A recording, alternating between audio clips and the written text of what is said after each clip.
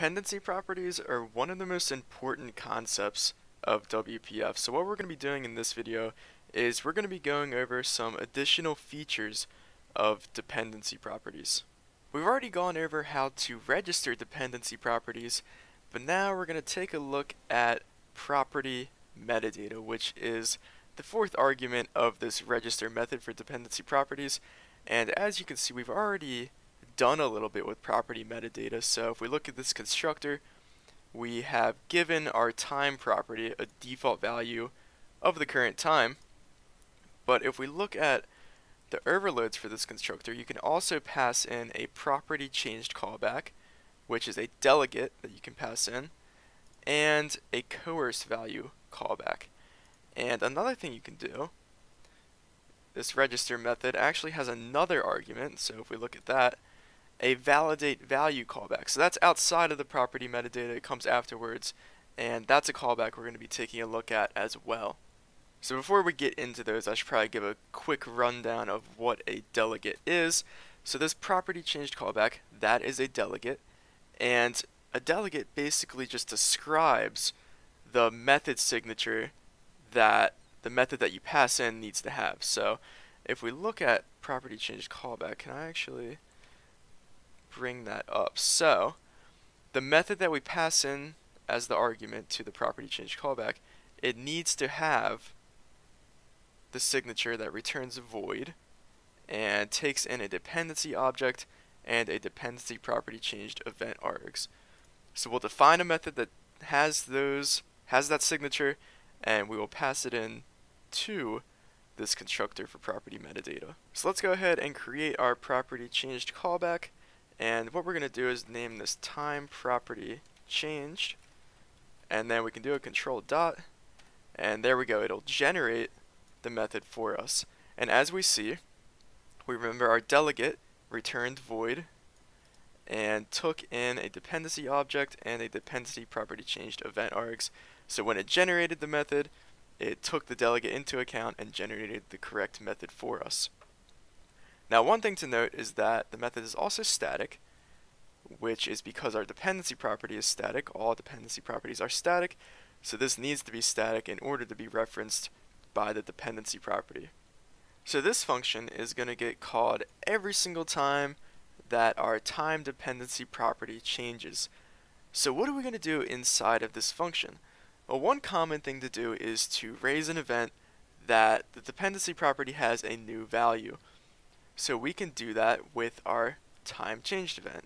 And it just makes sense because the time property is changed.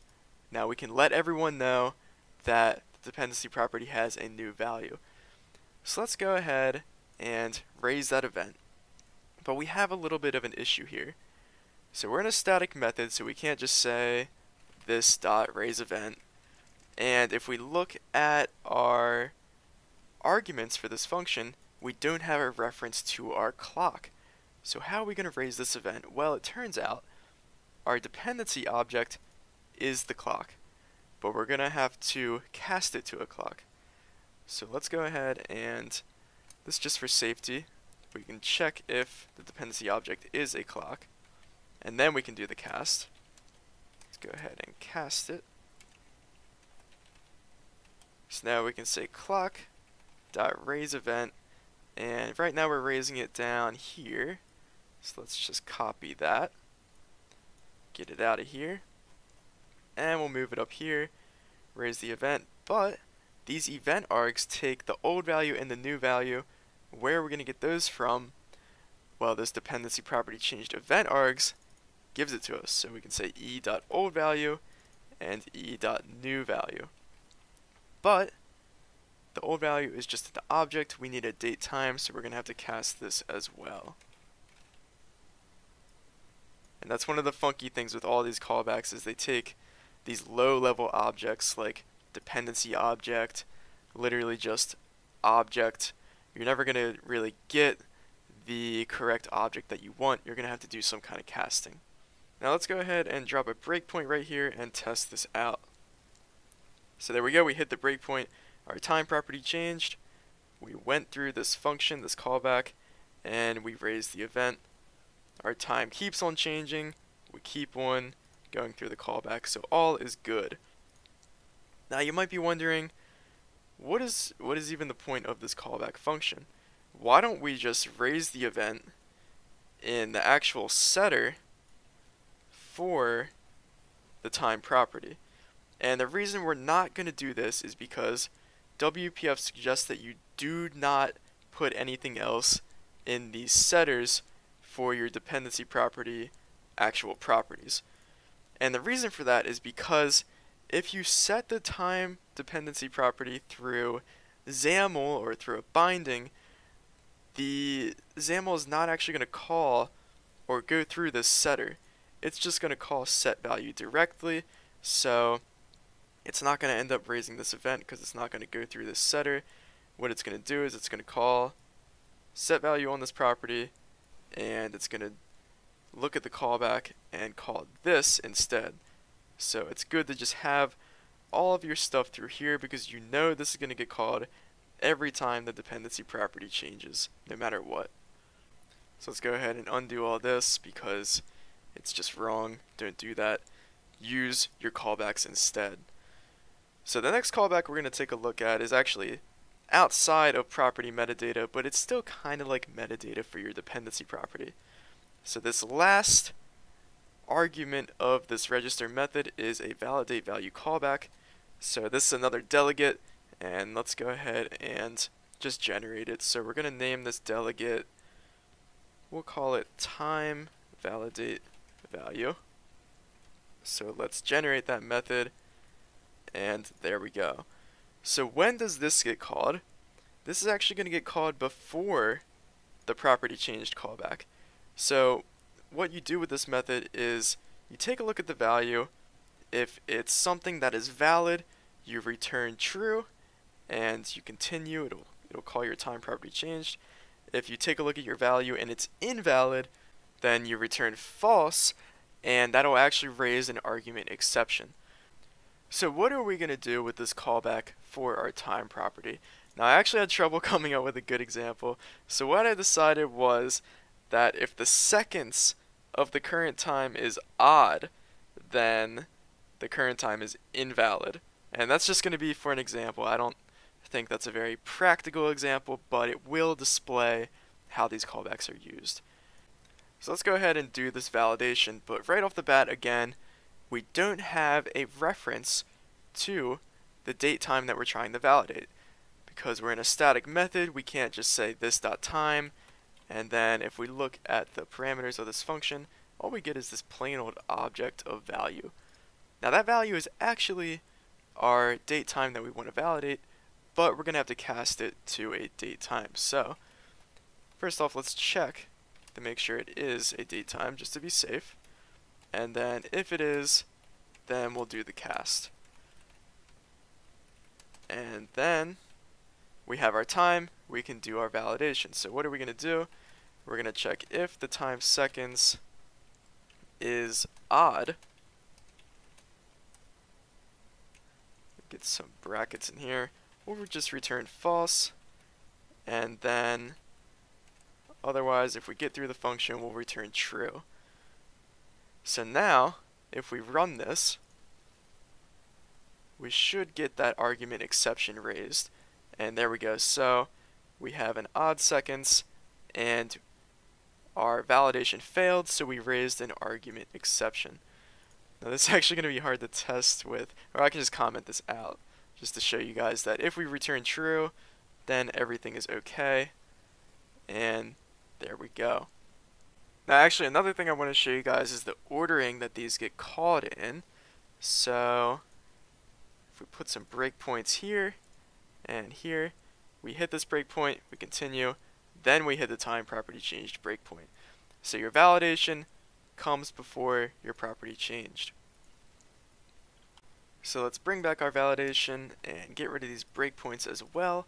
And now we're going to take a look at the last callback. So this is Let's go ahead and move this to a new line as well so we can see everything.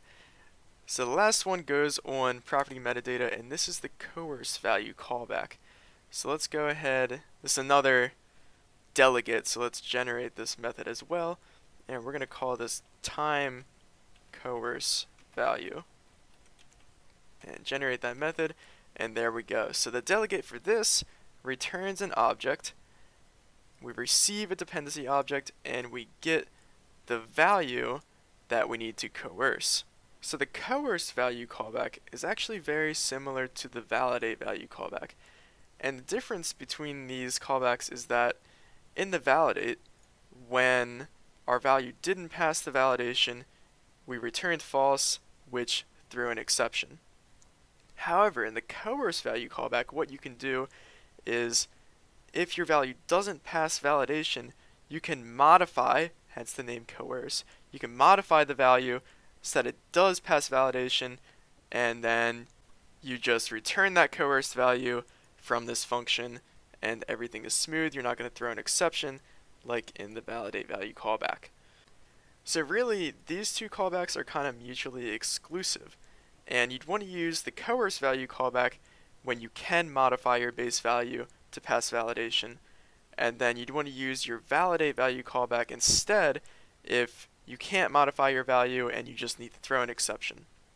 So what we're going to do is we're actually going to get rid of this callback and we're just going to implement the coerce value callback because we can modify our value so that it is not an odd number of seconds. So that's exactly what we're going to do. So let's take a look at this function. Same thing, static, and all we receive is our base value as an object. So we got to do our casting again. So if base value is date time, then let's do the cast. And then we can work with this base value. So if the time dot seconds are odd,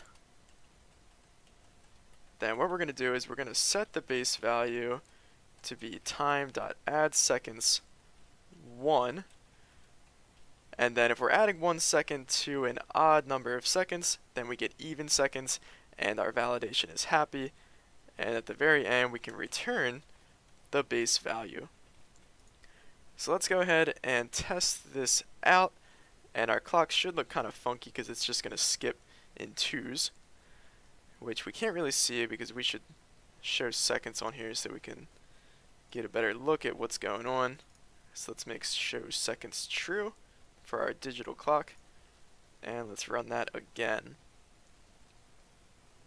And there we go. So, whenever the time is odd, we're setting the seconds to or we're adding one to the second, so basically we're just seeing this time move in twos. And let's put a breakpoint right there. So we hit this breakpoint because our seconds were odd, and we did the coercion by adding one second, and then our validation is all good. Now another thing I should show is that coercion actually gets called before the property changed callback. So if we put a breakpoint on both of these,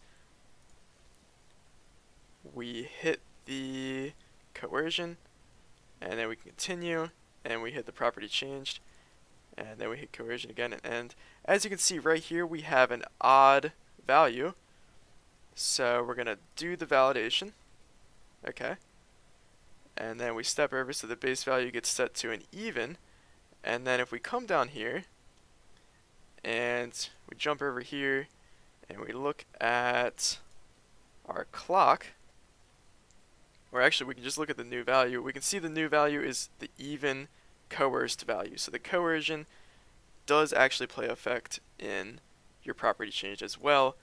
So that odd value is never going to get through your system at all. Another thing to note is that the full ordering for all these callbacks is first validate gets called, then coerce gets called, and then property change gets called. And that was a little bit disappointing for me because I thought that coerce would get called before validation. So I was hoping what you could do is coerce the value or try and coerce the value and then if the coercion failed then it would run through validation and then return false and throw the exception. But that's not how it works. Validate gets called, then coerce gets called. So that's a little bit unfortunate, but that's one thing to note if you guys are kind of thinking the same thing. Anyways, that's going to wrap it up for going over property metadata for dependency properties. So we went over the property changed callback, the validate value callback, and the coerce value callback. We did a pretty simple example for these validation type of callbacks. Not the most practical, but hopefully you guys learned about how all these callbacks work and can implement them in your own applications. Other than that, thank you guys for watching. If you have any questions, criticisms, or general comments, be sure to leave them below in the comments section. But other than that, thank you for watching. Be sure to leave a like or subscribe for more.